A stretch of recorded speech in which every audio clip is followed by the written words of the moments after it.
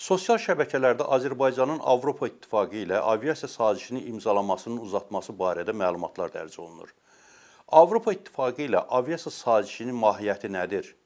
Ümumiyyətlə Avropa İttifaqının təklif elədiyi aviasiya sazişinin əsl mahiyyəti bundan ibarətdir ki, ümumi standartlara uyğun olaraq vahid bir qəbul olunmuş qayda ilə Avropa İttifaqı ölkələrinə daxil olan aviaşirkətlərin və Azərbaycanın aviaşirkətlərinin qarşılıqlı maneəsiz uçuşlar həyata keçirməsidir. Və bu an həmin hə, istənilən Avropa İttifaqı ölkəsində fəaliyyət göstərən aviasiya şirkəti həmin müqavilə əsasında Azərbaycana müraciət edib əlavə bir danışıqlar aparmadan Bakıya birbaşa uçuşlar təşkil eləyə bilər. İlk dəfə Avropa İttifaqı bu sazişi Azərbaycana 2013-cü ildə təklif edib. Qısa bir müddətlər danışıqlar gedəndən sonra bunlar dayandırılıb, uzun bir müddət fasilə yaranıb.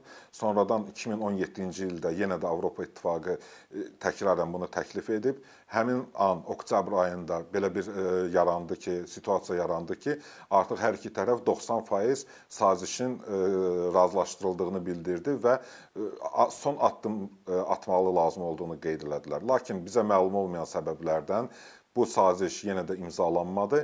Növbəti fəallıq 2019-cu ilin mayına təsadüf etdi. Yenə də hər iki tərəf sazişin 90% razılaşdırıldığını bildirdilər və son addım atılmasını e, lazım olduğunu qeyd etdilər. Yenə də hələlik bu tərəflərin bəyanatlarına baxmayaraq saziş imzalanmır və bundan da Azərbaycan dövləti büdcəsi və Azərbaycanın sıravi vətəndaşları itirirlər.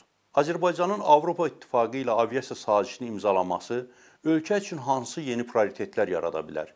Bu sazişin imzalanmasının mənfi cəhətləri də özünü göstərə bilərmi? Ən əsas prioritet ondan ibarətdir ki, Azərbaycandan, Bakıdan və yaxud Azərbaycanın digər beynəlxalq aeroportlarından Avropa şəhərlərinə birbaşa uçuşlar təşkil olunacaq. Və bu da digər ölkələrin nümunələrində, Gürcüstan, Ukrayna kimi ölkələrin nümunələrində göstərir ki, əsasən bundan aşağı büdcəli aviakompaniyalar istifadə edirlər. Yəni ki, low costerlər.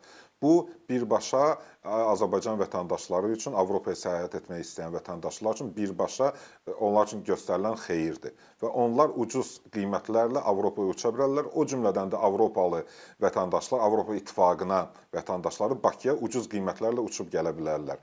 Mənfi tərəfi yalnız Azalın müəyyən idarə idarə etməçiliyində ola bilər. Müqavilədə də göstərilir ki, müqavilə imzalandıqdan neçə il sonra Azərbaycan bir e, hökumət olaraq Azalın subsidiyalarını dayandıracaq. Və buna görə də həmin e, ekspertlər də bildirirlər ki, müqavilə imzalanan andan artıq Azal öz idarə etməçiliyində islahatlara başlamalıdır ki, həmin o müqavilədə göstərilən müddət bitdikdən sonra müflis olmasın.